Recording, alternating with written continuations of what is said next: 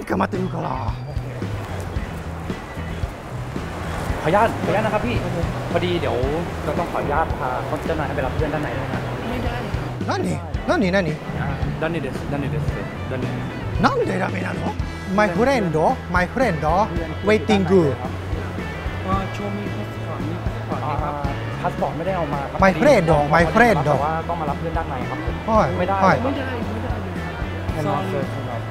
แค่นอนเลยครับ わけわからないよ It is so nonsense นิดเดียวนะพี่นิดเดียวนิดเดียว Why Why Why Why Why ท่านกรรมการผู้อำนวยการใหญ่คะจากเหตุการณ์เมื่อสักครู่นี้นะคะทำไมเขาถึงเข้าไปในบริเวณพื้นที่ด้านในไม่ได้อะคะ ครับ จริงๆ ตรงนี้เราเรียกว่าบัฟเฟอร์โซนนะครับ ถ้ามอลลี่คุ้นเคยกับที่ดอนเมืองเนี่ย ก็จะเห็นว่าผู้โดยสารพอเดินออกมาแล้ว จะมีราวอลูมิเนียมอยู่นะฮะ ราวอลูมิเนียมเนี่ยให้ผู้โดยสารเดินออกได้อย่างเดียว คนเดินเข้าไม่ได้นะครับ เพ ราะว่าลองนึกดูว่าถ้าสมมติไม่มีพื้นที่ที่เป็นเรียกว่าพื้นที่ควบคุมหรือ buffer zone ดังกล่าวเนี่ยมีใครเดินเนียนๆมาอยู่ใกล้ประตู แล้วผลุบเข้าไปเลย หนีคดีขึ้นเครื่องบิน อย่างนี้เราจะควบคุมลำบากนะครับไม่เหมือนผู้โดยสารขาออกผู้โดยสารขาออกที่ต้องผ่านตมอต้องผ่านตรวจค้น ผู้โดยสารขาเข้านี่เราปล่อยออกนะฮะงั้นถ้าไม่มีพื้นที่ดังกล่าวให้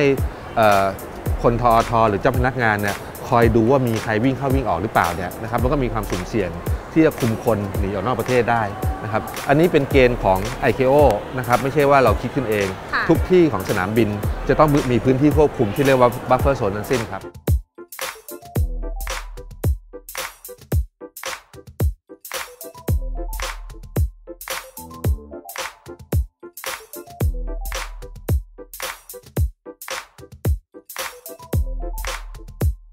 ตรงข้างนอกก็เช่นเดียวกันครับ ก็เป็นกรณีของ buffer zone เหมือนกันนะครับ แต่ว่าเมื่อก่อนเนี่ยเอ่อผู้โดยสารออกทุกประตูไม่ได้เลย ตั้งแต่ประตู 4 ถึงประตูค่ะ10นะครับก็ได้รับการ complain จากผู้โดยสารมานะครับตอนนี้เราเลยเปิดช่องให้ออกไปได้ที่ประตู 5 ประตู 7 ประตู9นะครับแล้วก็จะมีรปภ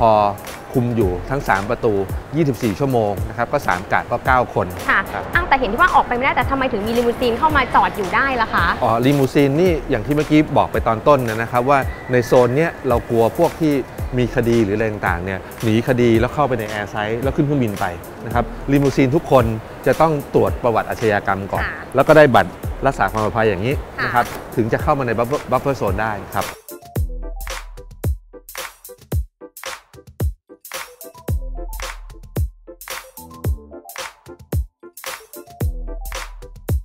อย่างนี้ก็เหมือนที่ชั้นหนึ่งใช่ไหมคะที่มีเป็น Magic Food Court เนี่ยเมื่อก่อนเนี่ยก็คือเขาไม่ให้ขึ้นใช่แต่เดี๋ยวนี้คือเราเราจัดสรรพื้นที่ใหม่แล้ว สามารถขึ้นมาได้แล้วใช่ถูกไหมคะ เมื่อก่อนตอนที่ผมจะมาอยู่ที่นี่ด้วยซ้ำค่ะนะครับก็รู้สึกหงุดหงิด เพราะว่าลงไปทานอาหารที่ Magic Food Court ค่ะก็ลงบันไดเลื่อนนั่นนะฮะนะฮะทานเสร็จแล้วจะขึ้นบันไดเลื่อนที่อยู่ติดๆกันเลยเขาบอกว่าห้ามขึ้น เราก็บอกว่าเอ๊ะเพิ่งลงมาเมื่อกี้นี่เลยทำไมถึงขึ้นไม่ได้นะครับก็เหมือนกันเพราะว่าเอ่อก่อนที่เราจะมากั้นราวอลูมิเนียมเนี้ยค่ะนะครับ การที่ลงไปร้าน Magic Food Court แล้วขึ้นมามันกลับขึ้นมาที่ buffer zone ค่ะนะครับก็เป็นพื้นที่หวงห้ามเช่นเดียวกันนะครับตอนนี้ทางสุวรรณภูมิก็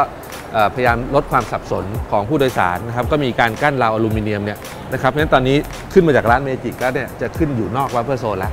นะครับค่ะ วันนี้นะคะเราก็ได้มาไขข้อสงสัยกันแล้วนะคะ ว่าทำไมนะคะเราเห็นว่าทางเข้ามันอยู่เพียงข้างหน้านี้แต่เราก็ไม่สามารถเดินเข้ามาได้นะคะ เพราะว่าการจัดสรรพื้นที่ภายในนี้นะคะ ก็จะเป็นเเพื่อความเรียบร้อยนะคะเป็นไปตามกฎข้อบังคับนะคะของทาง ICAO ค่ะ เรื่องการรักษาความปลอดภัยนะคะ ให้แก่ผู้โดยสารที่มาใช้บริการท่าอากาศยานสุวรรณภูมิค่ะ